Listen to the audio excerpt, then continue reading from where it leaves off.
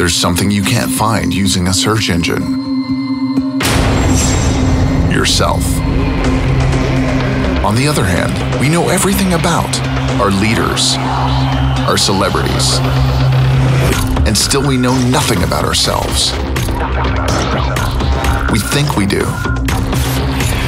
You can name your favorite colors, songs, sports, teams, places to go, because the things you love or hate are the ones that make yourself really you. But who decided on them? Was that really you? Or did your mother tell you that some colors are for girls and others for boys?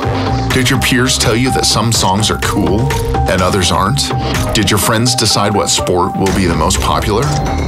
And did your father tell you what the best sports team is? Haven't we all loved something just because others do? Or hated just to be part of the group? Let's admit it. Whatever we do, our actions are always influenced, and we have lost track of our influences to the point where we think we came up with it all. We don't live our lives. We live the lives we're told to, just because it's good for us. Shouldn't we know what's best for us? And if our decisions aren't really ours, who are we then? Who are you? Is your life the best possible? How could it be? If you don't know if it's meant for you, the question now is how do you find yourself, your true and free self? There's a secret, a catch to it, and it's as simple as it is brilliant. Are you ready for it? In order to know yourself, you need to stop thinking. Stop thinking about what your close ones told you, what society told you, what your culture told you. Stop thinking about dogmas. Stop thinking about what you've been taught.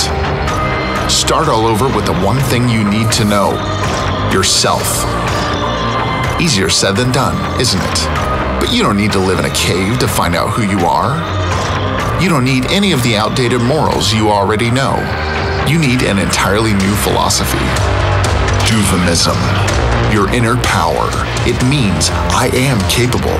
I am a creator, and you really are. You're capable of everything, as long as you discover yourself. And to do that, you need freedom. A place where you answer to no one's expectations. Because everyone there expects complete freedom. A place where no one knows your socially accepted image.